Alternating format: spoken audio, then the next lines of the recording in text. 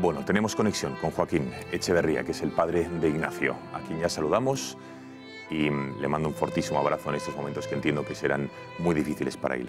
Joaquín, muy buenas noches.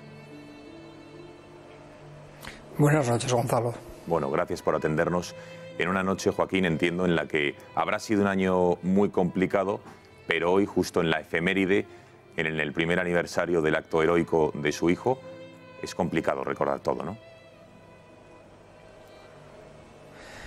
Bueno, no, eh, es un día como otro cualquiera. Ayer, hubo unos actos, eh, vamos a decir, en memoria de las víctimas y, bueno, la ciudad de Londres y el, gobierno británico, hubo una representación de la reina, eh, tuvieron, hicieron un homenaje a las víctimas y, bueno, pero por lo demás todos los días son iguales. Para mí no hay los aniversarios no tienen ningún significado especial. Joaquín, un año después del atentado, ¿ya tiene claro lo que pasó y cómo fue exactamente la actuación de su hijo? Porque iba acompañado de tres amigos cuando volvían de patinar y se encontraron con la barbarie, ¿no? Y, o Ignacio en este caso, decidir contracorriente y enfrentarse a los asesinos. Bueno, sí, en realidad que creo, creemos saber eh, lo que ocurrió o cómo fue.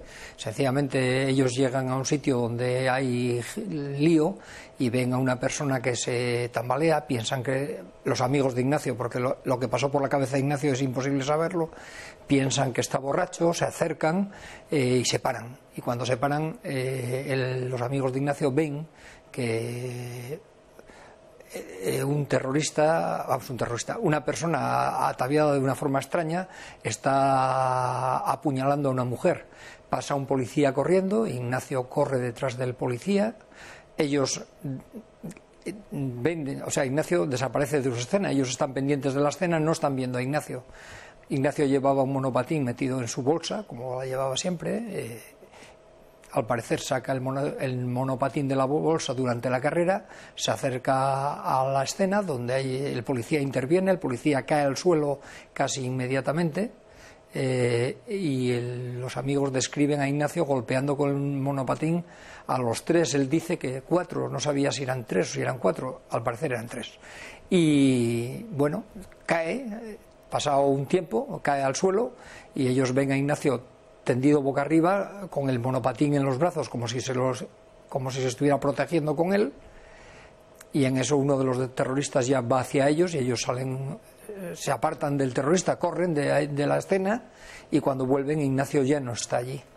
Bueno, sencillamente él ve la agresión y interviene en la agresión e intenta de algún modo evitar que, que el policía, vamos, que la mujer muera, que el policía muera.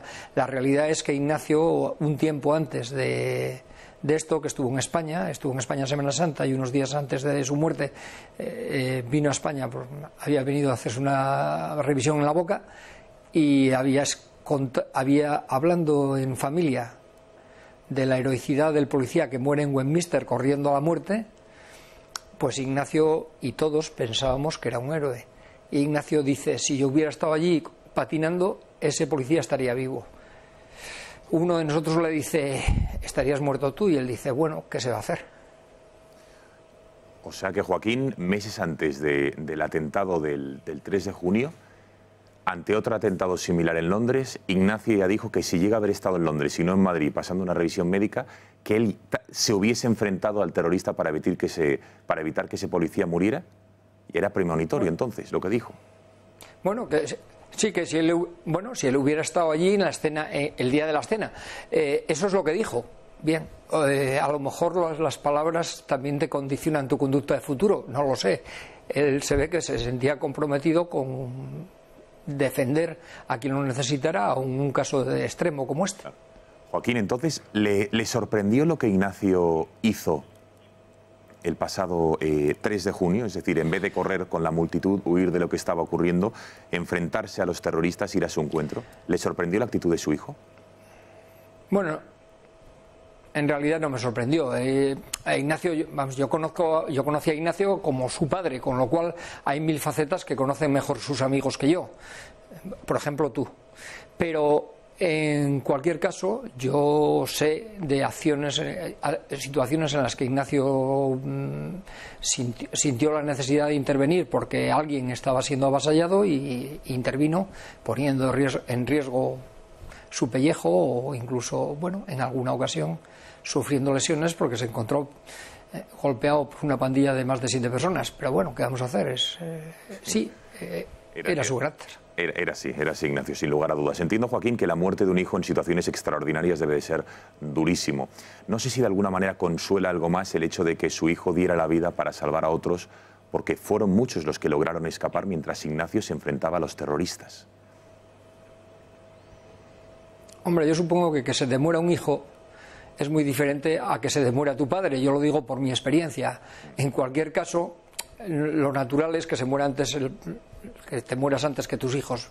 Pero bueno, en cualquier caso, yo supongo que la muerte de un hijo hace tiene que hacer un daño tremendo a cualquier persona, cualquier circunstancia eh, es mala y en cualquier caso, bueno, yo pienso este hombre tuvo una vida buena con sus dificultades y sus problemas, tuvo una vida feliz y murió bien. Pues yo creo que sí, que, que de alguna manera yo entiendo que su muerte pues es parte de su ciclo de vida y fue un buen ciclo de vida y una buena muerte.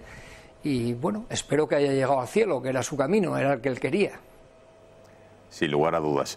Por último, Joaquín, Ignacio, no sé si es usted consciente que más allá del dolor y el sufrimiento que ha supuesto para usted y su familia la pérdida de su hijo, en España ha dejado una huella imborrable. Un ejemplo de que muchos hemos tomado nota y que nunca más vamos a olvidar. ¿Es usted consciente del, del eco y la repercusión mediática que ha tenido el ejemplo y la actuación heroica de su hijo?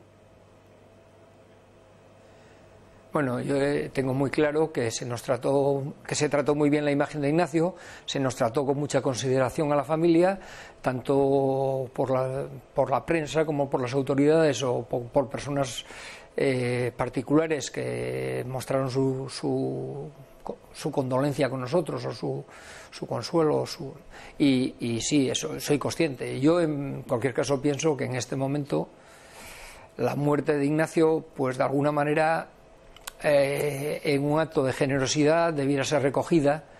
Y yo creo que podría ser un buen ejemplo para fomentar la buena conducta de los niños y de la gente joven en particular, pues eso, para, defender, para intentar que los niños en los colegios, en, su conducta diaria, sean buenos y considerados con, con, sus, con los otros niños, que defiendan a los que estén en situación de inferioridad y que, y que colabore a evitar pues eso el acoso escolar y esas cosas yo creo que se debe poner como ejemplo yo sé que hay muchos ejemplos para poner, ¿eh? no, nos, no, nos, engañemos. Hemos visto a una persona morir en un incendio después de entrar tres veces al incendio. Y hace poco hemos visto a una persona intervenir en un atraco, un chico joven, y lo matan en el atraco defendiendo, defendiendo a las personas que estaban siendo agredidas. Hay muchos ejemplos, pero yo creo que este es un buen ejemplo para que se tome nota de él. No es un buen ejemplo, Joaquín, es un ejemplo enorme, es fantástico. Así que muchísimas gracias, Joaquín, por su testimonio, por sus palabras y por haber sido padre de una persona buena, como era Ignacio. Alguien que corrió contra corriente en vez de huir del peligro y poner su vida a salvo, como haría, por cierto, la mayoría de personas.